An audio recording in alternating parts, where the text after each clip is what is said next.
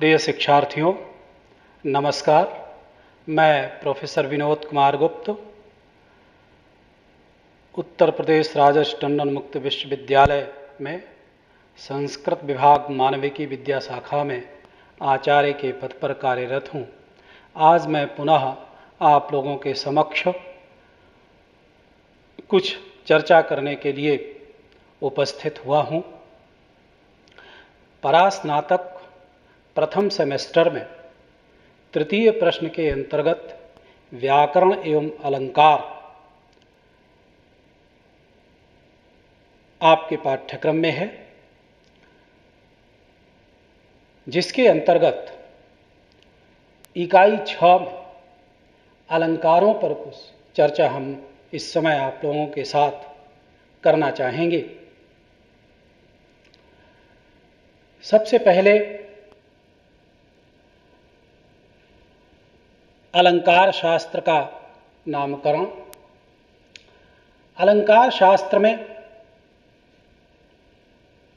दो पद हैं। अलंकार एवं शास्त्र। अलंकार शास्त्र वर्तमान समय में काव्य शास्त्र या साहित्य शास्त्र का प्रारंभिक नाम है। अलंकार शास्त्र में अलंकार का क्या अर्थ है? शास्त्र का क्या अर्थ है? इसको देखने के बाद हम आगे की ओर बढ़ेंगे। अलंकरोतीति अलंकार। अलंकृत करते हैं जो। किसको अलंकृत करते हैं? काव्य को अलंकृत करते हैं। अर्थात, काव्य में उत्कर्ष का आधान करने वाले तत्व, काव्य में शोभा का आधान करने वाले तत्व, काव्य में सौंदर्य वर्धक तत्व अलंकार कहे जाते हैं। चाहे वह शब्द के माध्यम से हो, चाहे अर्थ के माध्यम से हो शब्द के माध्यम से शोभा का आधान, शब्दालंकार के अंतर्गत और अर्थ के माध्यम से काव्य में सौंदर्य का आधान या उत्कर्ष का आधान अर्थालंकार के अंतर्गत आता है। वे सभी तत्व जिनके कारण काव्य के सौंदर्य में अभिवृद्धि होती है काव्य की शोभा बढ़ती है, वे सब अलंकार के अंतर्गत आते हैं। काव्य में शोभा की अभिवृद्धि कैसे हुआ करती है, इसको हम एक उदाहरण से समझ सकते हैं। वास्तव में यह काव्य का जीवनाधायक तत्व न हो करके उत्कर्षाधायक तत्व है। यद्यपि आगे जब हम लोग पढ़ेंगे अलंकार संप्रदाय अलंकार संप्रदाय के अनुयायी इसे काव्य का जीवातु तत्व स्वीकार करते हैं। लेकिन अधिकांश विद्वान इसे काव्य का उत्कर्षाधायक तत्व मानते हैं। उदाहरण के लिए लोक में यदि कोई सुंदर हो और उसे अलंकारों से, आभूषणों से सुसज्जित कर दिया जाए तो उसके सौंदर्य में कई गुना अभिवृद्धि हो जाती है। लेकिन अगर कोई सुंदर न हो, कुरूप हो, उस, उसे अलंकारों के माध्यम से सुसज्जित किया जाए तो अपेक्षा अनुरूप सौंदर्य की अभिवृद्धि नहीं होगी। इसलिए इसे उत्कर्षाधायक तत्व कहा जाता है। शास्त्र शब्द के संदर्भ में शास्त्र शब्द का लक्षण, शास्त्र शब्द का लक्षण करते हुए कहा गया, प्रवृत्तिर्वा निवृत्तिर्वा, नित्येन कृतकेन वा पुंसाम येनोपदेशित्व तच्छास्त्रमिति कथ्यते। अर्थात व्यक्ति को प्रवृत्ति निवृत्ति का उपदेश देने वाले शास्त्र कहे जाते हैं। क्या करणीय है, क्या अकरणीय है, क्या अच्छा है, क्या बुरा है, इसका उपदेश देने वाले ग्रंथ शास्त्र कहे जाते हैं। अलंकार शास्त्र में शास्त्र शब्द लग जाने से उसका महत्व बढ़ गया। क्योंकि अलंकार शास्त्र भी प्रवृत्ति निवृत्ति का उपदेश देते हैं। साहित्य दर्पणकार आचार्य विश्वनाथ लिखते हैं, काव्यतो रामादिवत प्रवर्तितव्यम न रावणादिवदित्यादित्य। कृत्याकृत्य प्रवृत्ति निवृत्त्युपदेश द्वारेण सुप्रतीत अर्थात काव्य से कृत्य कार्यों में प्रवृत्ति और अकरणीय कार्यों से निवृत्ति सुप्रतीत अर्थात सुप्रसिद्ध ही है। एक और भी उत्पत्ति की जाती है शास्त्र की, शासनात् शास्त्रम। शासन करने के कारण शास्त्र कहा जाता है। शासन का मतलब प्रवृत्ति निवृत्ति के हेतु। काव्य का जो परम प्रयोजन है वह है रसानुभूति। सकल प्रयोजन मौलिभूतम, रसास्वादन समुद्भूतम, विगलित वेद्यांतरमानंदम इत्यादि आचार्य मम्मट ने कहा और इसे काव्य प्रयोजन में शिरोपरि माना। तो काव्य का जो प्रमुख प्रयोजन है, वह है रसास्वादन या रसानुभूति कराना, किंतु करणीय कार्यों में प्रवृत्ति और अकरणीय कार्यों में निवृत्ति, यह भी है। जैसा कि अभी आचार्य विश्वनाथ की पंक्तियों को आपने देखा। तो शासनाथ शास्त्रम प्रकृति प्रत्यय की दृष्टि से अगर हम विचार करें तो शास्त्र शब्द शास व निशिष्ट धातु से स्टन प्रत्यय करके निष्पन्न होता है, जिसका अर्थ है अनुशासन या उपदेश करना। तो शासनाथ शास्त्रम अर्थात शासन करने वाला होने के कारण शास्त्र कहलाता है। शासन का आशय है, मनुष्य को किसी कर्म में प्रवृत्ति एवं किसी कर्म से निवृत्ति का उपदेश देना। इस प्रकार से अलंकार शास्त्र में अलंकार और शास्त्र इन शब्दों के बारे में हमने विचार किया। वास्तव में साहित्य शास्त्र का जो प्रारंभिक नाम है काव्य शास्त्र का जो प्रारंभिक नाम है, वह अलंकार शास्त्र के रूप में। काव्य शास्त्रीय आचार्यों में आचार्य भामह, बामन, रुद्रट, रुयक आदिकों ने अपने ग्रंथ में या अपने ग्रंथ का नामकरण काव्यालंकार, इसमें आचार्य बामन कहते हैं सौंदर्यम अलंकार अलंकार का लक्षण करते हुए कहते हैं सौंदर्यम अलंकार फिर आगे कहते हैं, काव्यम ग्राह्यम अलंकारात। इत्यादि। अलंकार के विषय में आचार्य बामन कहते हैं तो प्रारंभिक जितने भी काव्य शास्त्री आचार्य हुए, आचार्य भामह से लेकर बामन तक आचार्य भामह, आचार्य बामन, आचार्य रुयक, आचार्य रुद्रट इन सभी ने अपने ग्रंथ में अलंकार को प्रधानता दी। ऐसा नहीं है कि इनके ग्रंथों में केवल अलंकार का ही विवेचन हुआ हो, इसलिए ग्रंथ के नामकरण में। अलंकार शब्द रखा। इसके संदर्भ में कुमार स्वामी लिखते हैं, यद्यपि रसालंकार द्यनेक विषयमिदम शास्त्रम तथापि छत्रिन्यायेन अलंकार शास्त्र उच्यते यद्यपि रस, गुण, वृत्ति, रीति जितने भी काव्य शास्त्रीय प्रतिमान हैं, उन सभी का विवेचन है, फिर भी छत्रिन्यायेन। इसे अलंकार शास्त्र कहा जाता है। छत्रिन्यायन क्या है? बहुत ढेर सारे लोग जा रहे हैं और उनमें से कुछ लोग छाता लिए हुए हैं। तो उन छाता की प्रधानता के कारण उन्हें छत्रिन्यायन या छत्रिणो यान्ति इस रूप में कह दिया जाता है।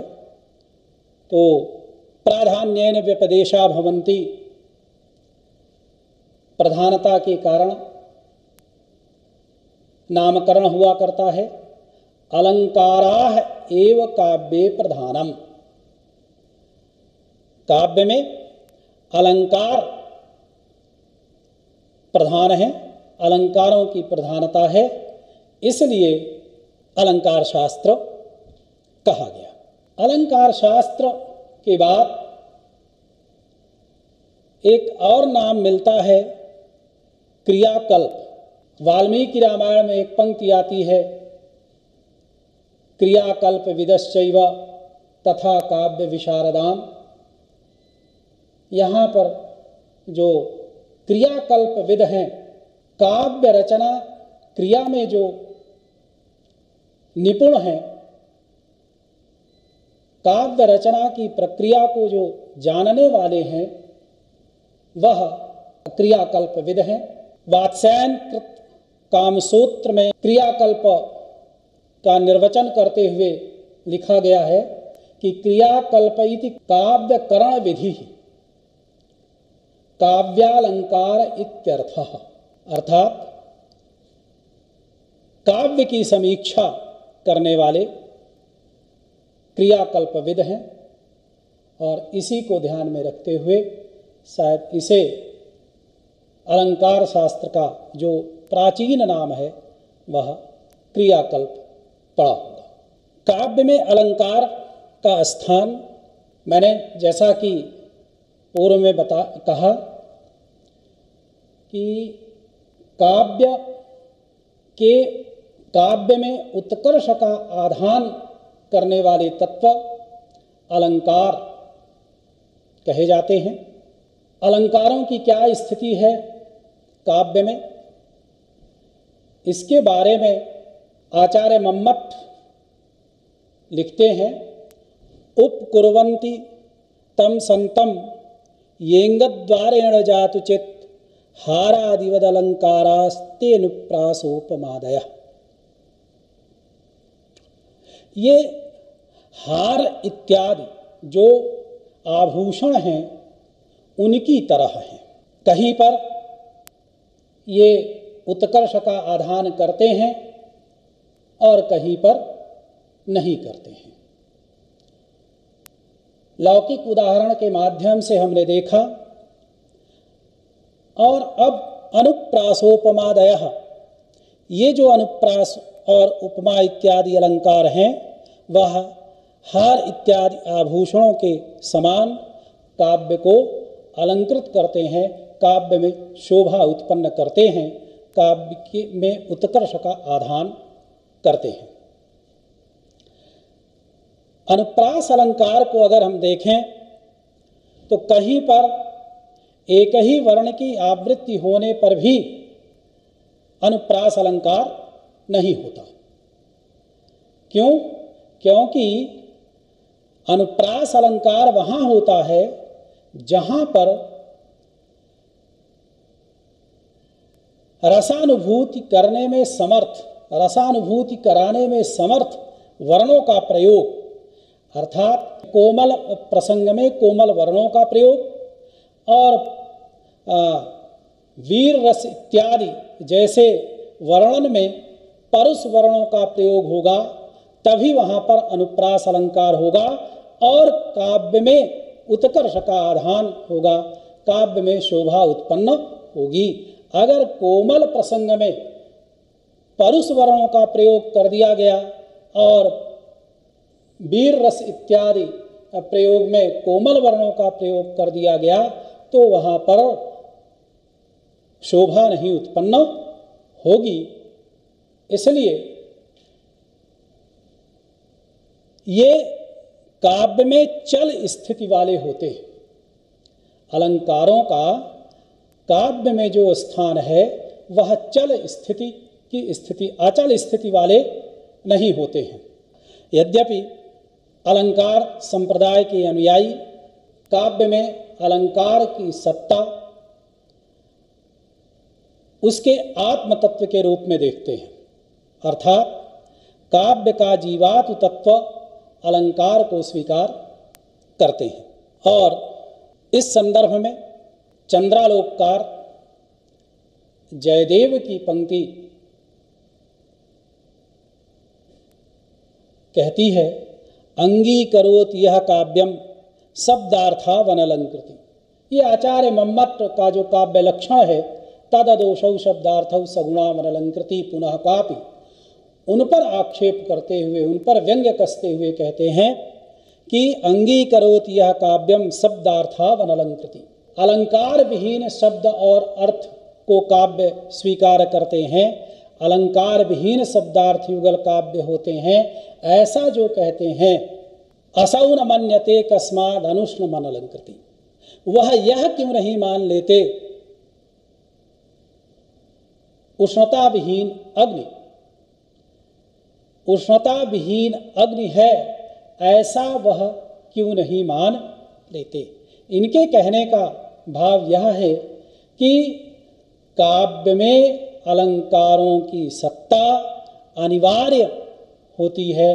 बिना अलंकार के काव्य काव्य नहीं रह जाएगा। अर्थात काव्य का जो आत्म तत्व है, वह अलंकार। तो अलंकार संप्रदाय अलंकार संप्रदाय वास्तव में काव्य शास्त्रीय आचार्यों की परंपरा आचार्य भरत मुनि से लेकर अद्यावधि अविच्छिन्न रूप से विकसनशील है।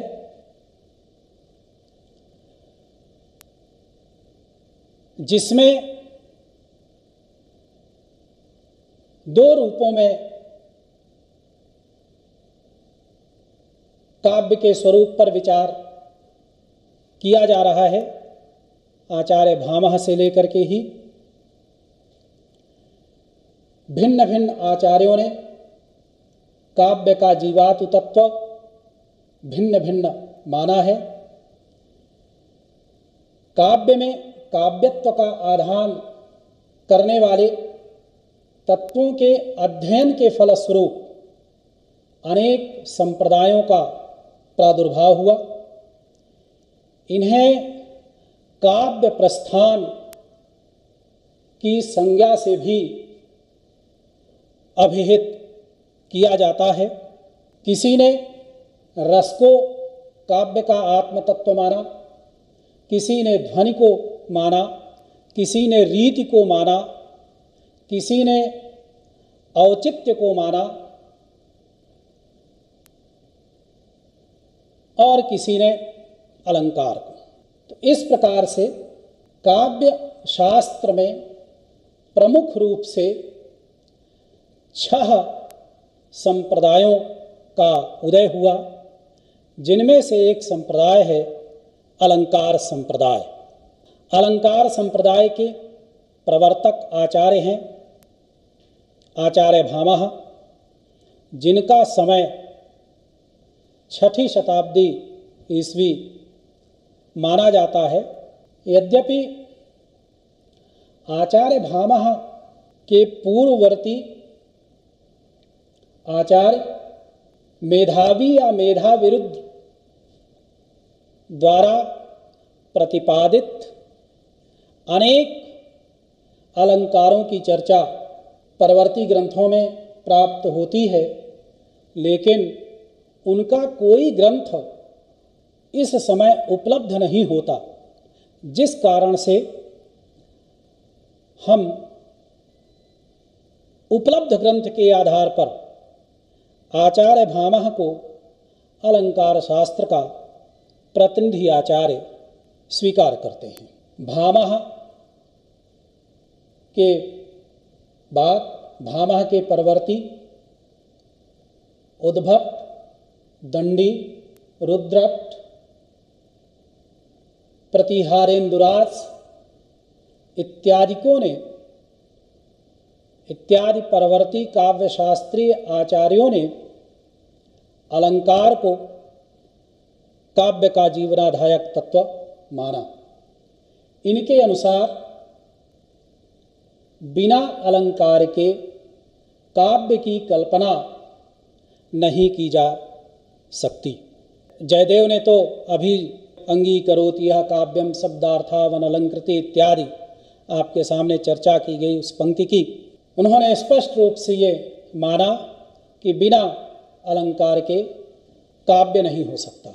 अलंकार शास्त्री या अलंकारवादी आचार्य अलंकार को काव्य का जीवातु तत्व मानते हैं, इसका यह अर्थ कथम भी नहीं है कि वह अन्य काव्य शास्त्रीय प्रतिमानों की उपेक्षा करते हैं। या अन्य काव्य शास्त्रीय प्रतिमानों को वह स्वीकार नहीं करते हैं। आचार्य भामह एवं दंडी दोनों ने ही रस को रसवद अलंकारों में, रसवद अलंकार चार हैं, रसवत, प्रेय, ऊर्जस्विन एवं समाहित। इनमें अंतर्भाव मानते हैं। ये रसवत दर्शित स्पष्ट श्रृंगारादि रसम यथा, यह आचार्य भामा की पंक्ति है। और मधुरे रसवदवाच वस्तुन्यपि रस स्थिति ही यह आचार्य दंडी का कथन है। इन दोनों ने रस्वद अलंकारों में रस का अंतर्भाव माना है। अलंकारों का क्रमिक विकास। आचार्य भामह से लेकर या उनसे पूर्ववर्ती आचार्य भरत से लेकर उत्तरोत्तर अलंकारों की संख्या में विकास देखा जाता है, विकास दिखाई देता है। नाट्यशास्त्र में केवल चार अलंकार, यमक, रूपक, उपमा एवं दीपक का वर्णन है। आगे चलकर रुद्रट ने या इन चार अलंकारों का विकास होते होते कुवलयानंद में 125 तक इनकी संख्या पहुँचती है। और रुद्रट ने अलंकारों का बड़े ही वैज्ञानिक ढंग से विभाजन किया है। विशेष रूप से जब वह श्लेष अलंकार का विभाजन करते हैं तो उनकी वैज्ञानिकता देखते ही बनती है। इस प्रकार अलंकार शास्त्र का नामकरण, काव्य में अलंकार का स्थान, अलंकार संप्रदाय का अर्थ, अलंकारों का क्रमिक विकास। आचार्य मम्मट ने छह शब्दालंकार माना, जबकि उसके पहले शब्दालंकारों की संख्या कम थी। तो अलंकारों का उत्तरोत्तर विकास होता रहा। आज हम लोगों ने अलंकार बेशक कुछ चर्चाएँ की और आगे आने वाले समय में अलंकार के भेद प्रभेदों इत्यादि के बारे में चर्चा करेंगे। बहुत बहुत धन्यवाद।